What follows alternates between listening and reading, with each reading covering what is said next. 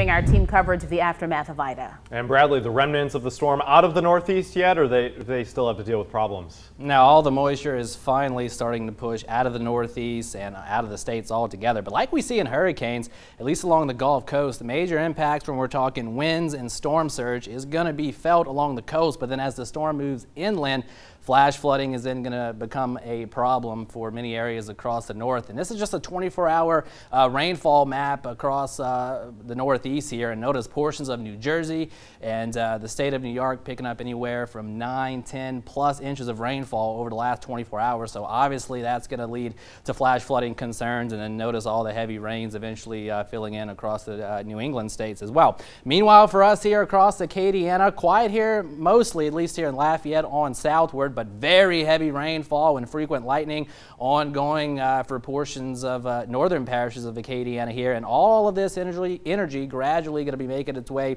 off to the south through the course of this evening. So Rain chances at least staying uh, somewhat elevated through about 10 to 11 o'clock this evening, as indicated here by the latest uh, predictive radar or high resolution rapid refresh model. But then generally you should be back to uh, fair skies after midnight. Temperatures dropping down into the middle 70s. That's where we'll start out our Friday. Another hot one out there tomorrow. Temperatures getting up into the lower and middle 90s tomorrow afternoon under mostly sunny to partly cloudy skies. And we'll see about a 20 to 30 percent chance for at least a few late afternoon and evening showers and storms. Well, rain chances only going down as we head into the weekend, which means the heat's going to be on. We'll talk about that, plus the very latest out in the tropics coming up in just a bit.